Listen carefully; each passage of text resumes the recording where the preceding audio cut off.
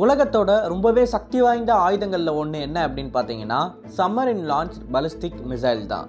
அப்படிப்பட்ட ஒரு ஆயுதம் இந்தியா கிட்ட இருக்கா அப்படின்னு கேட்டிங்கன்னா எஸ் இருக்கு. இந்தியாவோட நியூக்ளியர் கேப்பபிள் பலிஸ்டிக் மிசைல்ஸில் இருந்து இரண்டு மிசைல்ஸை நம்மளால் லான்ச் பண்ண முடியும். ஒன்று கே ஃபிஃப்டீன் இன்னொன்று கே ஃபோர் அதாவது எழுநூத்தம்பது கிலோமீட்டருக்கு ஒன்று மூவாயிரத்தி ஐநூறு கிலோமீட்டருக்கு ஒன்று அப்படின்னு சொல்லி ரெண்டு ஏவுகணைகளை நம்ம வச்சுருக்கோம். இப்போ மூவாயிரத்தி ஐநூறு கிலோமீட்டர் நமக்கு போதுமா அப்படின்னு கேட்டிங்கன்னா கிடையாது. நம்மளோட எதிரிகளான சீனா மற்றும் பாகிஸ்தானை கவுண்டர் பண்ணுறதுக்கு ஐயாயிரம் கிலோமீட்டரில் ஒரு ஏவுகணை நம்ம வச்சுருந்தோம் அப்படின்னா தான் நமக்கு அது ரொம்பவே சிறந்த வகையில் இருக்கும். அதுபடி கே ஃபைவ்னு சொல்லக்கூடிய ஒரு ஏவுகணையை அதுவும் குறிப்பாக அக்னி ஐந்து ஏவுகணையோட ஒரு மாடிஃபைடு வேர்ஷனாக டிஆர்டிஓ டெவலப் பண்ணிக்கிட்டு இருக்காங்க அப்படின்னு ஒரு தகவல் நமக்கு கிடச்சிருக்கு.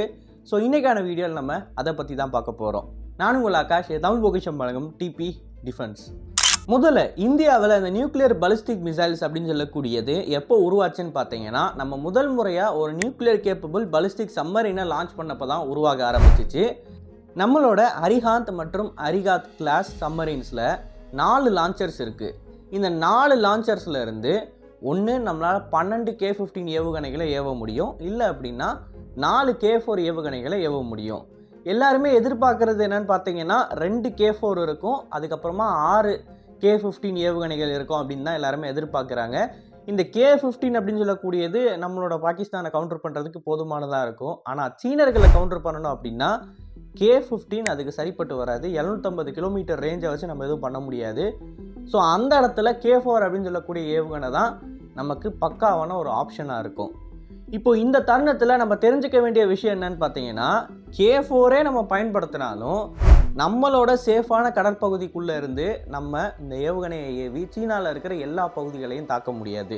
சீனாவில் இருக்கிற வடக்கு பகுதியை நம்ம தாக்கணும் அப்படின்னா கொஞ்சமாக சைனீஸ் டெரிட்டரிக்கு பக்கத்தில் போக வேண்டியது இருக்கும். ஏன்? சவுத் சைனா சீக்கே நம்ம போக வேண்டியது இருக்கும் அப்படின்னு கூட சொல்லலாம். ஸோ அப்படி எதிரிகளோட டெரிட்டரிக்கு உள்ளே நம்ம போகிறப்ப நம்மளோட கப்பலை அவங்க ஸ்பாட் பண்ணுறதுக்கு அதிக வாய்ப்பு இருக்குது அது மூலமாக நம்மளோட கப்பலை அழிச்சிருவாங்க. ஸோ இங்கே அடிப்படையில் நம்ம தெரிஞ்சுக்க வேண்டியது என்னென்னு பார்த்தீங்கன்னா மூவாயிரத்து ஐநூறு கிலோமீட்டர் ரேஞ்சை வச்சு பை தியரி சீனாவில் இருக்கிற எல்லா பகுதிகளையும் நம்ம தாக்க முடிஞ்சாலும் அது ப்ராக்டிக்கலாக நமக்கு செயல்பாட்டுக்கு வர்றப்ப ரொம்பவே பாதகமாக இருக்கும். அண்ட் இந்த இடத்துல சீனர்களோட பாலிசியை நம்ம கொஞ்சம் ஒற்று பார்க்கணும் சைனீஸ் அவங்களோட நியூக்ளியர் கேப்பபிள் பலிஸ்டிக் மிசைல் சம்மரின்ஸை அமெரிக்கன்ஸ் மாதிரி உலகம் முழுக்கெல்லாம் ட்ராவல் பண்ண வைக்க மாட்டாங்க. எப்படி நம்மளோட ரஷ்யன்ஸ் இந்த வடக்கு பகுதியில் இருக்கக்கூடிய நார்த் போல் ஐஸ் கேப்பை பயன்படுத்தி அங்கேருந்து அவங்களோட சம்மரின்ஸை ஒழிச்சு வச்சு லான்ச் பண்ணுறாங்களோ அதே மாதிரி சீனர்களும் சவுத் சைனா சி அப்படின்னு சொல்லக்கூடிய இவங்களோட கடற்பகுதிக்குள்ளே இருந்து மட்டும்தான் இந்த சம்மரின்ஸை இப்போதைக்கு ஆப்ரேட் பண்ணிக்கிட்டு இருக்காங்க. எனக்கு தெரிஞ்ச உலகத்தில் அமெரிக்கன்ஸ் மட்டும்தான் எல்லா மூல முடக்குக்கும் அவங்களோட நியூக்ளியர் கேப்பபிள் பலிஸ்டிக் மிசைல் சம்பரின்னு எடுத்துகிட்டு போவாங்க. உதாரணத்துக்கு ரஷ்யன்ஸ் மாதிரி அவங்க நார்த் போலுக்கும் கொண்டு போவாங்க. இந்த சைனீஸை கவுண்டர் பண்ணுறதுக்கு சவுத் சைனா சி வரைக்கும் கொண்டு வருவாங்க. பட் இதர ரெண்டு நாடுகளும் அவங்க செலக்டடாக ஒரு ரீஜன் வச்சு அந்த ரீஜனுக்குள்ளே மட்டும்தான் இந்த சம்மரினை ஆப்ரேட் பண்ணிக்கிட்டு இருக்காங்க. பட் இந்த சம்மரினோட டிசைனை பொறுத்த வரைக்கும் இதை அவங்க டெக்னிக்கலாக உலகத்தில் எந்த பகுதியில் இருந்து வேணாலும் ஆப்ரேட் பண்ண முடியும். ஸோ இந்த இரண்டு நாடுகளும் இந்த அப்ரோச்சை எடுக்கிறதுக்கான காரணம் என்ன? அவங்களோட டெரிட்டரிக்கு பக்கத்தில் இருக்கிற ஒரு கடற்பகுதிக்குள்ளே இருந்து மட்டுமே ஆப்ரேட் பண்ணுறாங்கன்னா அதுக்கு முக்கியமான காரணமே அவங்க கிட்ட இருக்கிற இதர நேவல் அசட்ஸ் அதாவது வார்ஷிப்பு ஏர்கிராஃப்ட் கேரியரு ஃப்ரிகேட்டுன்னு சொல்லி அவங்க அந்த பகுதியை ஏற்கனவே கண்ட்ரோலுக்குள்ளே எடுத்திருப்பாங்க. ஸோ அந்த பகுதியில் அவங்களோட டெஸ்ட்ராயர் ஃப்ரிகேட் எல்லாம் தாண்டி எதிரியோட ஒரு சம்மரின் வர்றதுக்கு வாய்ப்பே இல்லை.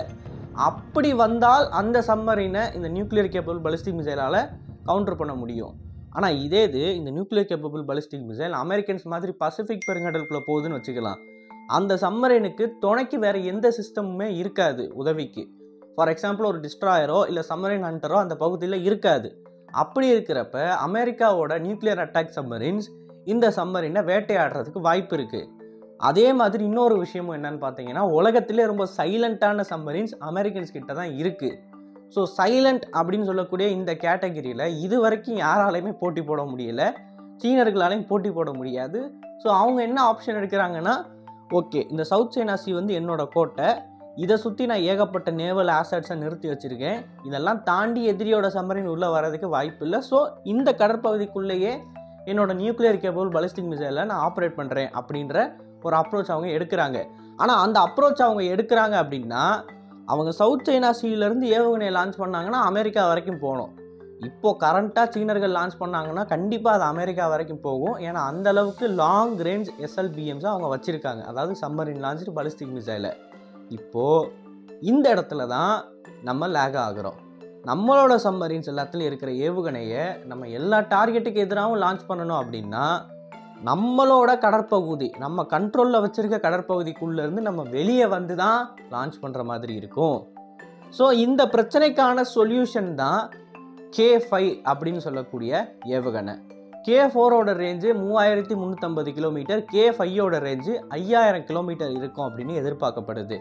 கே ஃபோரை அக்னி த்ரீ ஏவுகணையிலேருந்து நம்ம மாடிஃபை பண்ணி அதை கேனிஸ்டராக மாற்றி கிட்டத்தட்ட பதினேழு டன்னுக்கு நம்ம உருவாக்கி அதை லான்ச் டியூப்பில் போட்டிருக்கோம். ஆனால் கேஃபை அப்படின்னு சொல்லக்கூடியது அக்னி ஐந்து ஏவுகணையோட மாடிஃபிகேஷன் அதாவது ஏற்கனவே நம்மக்கிட்ட அக்னி ஐந்து ஏவுகணை இருக்குது நாற்பது டன் இருக்கும். இந்த ஏவுகணையை நம்ம எட்டாயிரம் கிலோமீட்டர் வரைக்கும் லான்ச் பண்ணலாம். எம்ஐஆர்வி கேப்பபிளோட வேற இருக்குது ஸோ இதை நம்ம என்ன பண்ணுவோம் அப்படின்னா சம்மரின்லேருந்து லான்ச் பண்ணுற மாதிரி கேனிஸ்டர் ஆக்கி அதோட வெயிட்டை குறைச்சி சம்மரின் லான்ச் டியூப்பில் கொண்டு போய் வைப்போம். பட் எல்லாரோட சந்தேகமும் என்னவா இருக்குது அப்படின்னு பார்த்தீங்கன்னா ஐஎன்எஸ் அரிஹாத் ஐஎன்எஸ் அரிஹாந்த் இந்த இரண்டு கப்பல்கள்லையுமே நாலு லான்ச் டியூப்ஸ் தான் இருக்குது இந்த நாலு லான்ச் டியூப்ஸில் கே ஃபைவ் ஃபிட் ஆகுமா அப்படின்றது ஒரு பெரிய சந்தேகமாக இருக்குது இந்த தருணத்தில் தான் எல்லோரும் இன்னொரு ஆப்ஷனை சொல்கிறாங்க இந்தியா இன்னும் இரண்டு நியூக்ளியர் கேபிள் பலிஸ்டிக் மிசைல்ஸை கட்டிக்கிட்டு இருக்கு. அதோட சைஸ்லாம் பார்த்தீங்க அப்படின்னா முந்தைய கப்பல்களை விட ஆயிரம் டன் அதிகமாக இருக்குன்னு சொல்கிறாங்க அண்ட் அதே சமயம் முந்தைய கப்பல்களை கம்பேர் பண்ணுறப்ப இரண்டு மடங்கு அதிகமான பெயிலோட கெப்பாசிட்டி எடுத்துகிட்டு போக முடியும் அப்படின்னு சொல்கிறாங்க ஸோ ஃப்யூச்சரில் நம்ம உருவாக்கிக்கிட்டு இருக்கிற அந்த நியூக்ளியர் கேபிள் பலிஸ்டிக் மிசைல்ஸுக்கு தான் இந்த கே ஃபைவ் ஏவுகணையை நம்ம உருவாக்குறோம் அப்படின்றத எல்லாருமே காமன் கருத்தாக வச்சுக்கிட்டு இருக்காங்க. பட் இப்போ வரைக்குமே யாருக்குமே இந்த கே ஃபைவ் அதாவது ஐஎன்எஸ் அரிஹாத் அரிகாந்த் கப்பலில் ஃபிட் ஆகுமா அப்படின்றத கன்ஃபார்ம்டாக சொல்ல முடியல.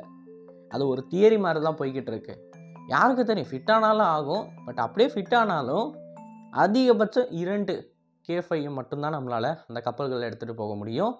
ஒரு கே ஃபைவ்ல பன்னெண்டு வாரட் அதிகபட்சமாக எடுத்துகிட்டு போக முடியும் அப்படின்றப்ப மொத்தமாகவே நம்ம ஒரு இருபத்தி நாலு வாரட் தான் எடுத்துகிட்டு போக முடியும். பட் இதே இது நீங்கள் ரஷ்யன்ஸோட கம்பேர் பண்ணி பார்த்தீங்க அப்படின்னா ரஷ்யன்ஸ்லாம் பயங்கரமாக அவங்களோட ஆசனல் வச்சுருக்காங்க. இருபத்தி நாலு எஸ்எல்பிஎம்ஸ் வரைக்கும் அவங்க எடுத்துகிட்டு போவாங்க.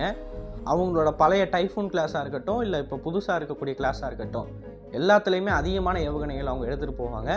அதுக்கேற்ற மாதிரி அவங்களோட நியூக்ளியர் ஆர்சனலும் ரொம்ப ரொம்ப பெருசாக இருக்குது ஸோ நம்மளோட அடிப்படையே என்ன அப்படின்னு பார்த்தீங்கன்னா சவுத் ஏஷியாவில் இருக்கக்கூடிய நம்மளோட எதிரிகளை கவுண்டர் பண்ணுறதுக்கு தான் நமக்கு சம்மரின்ஸ் வேணும்.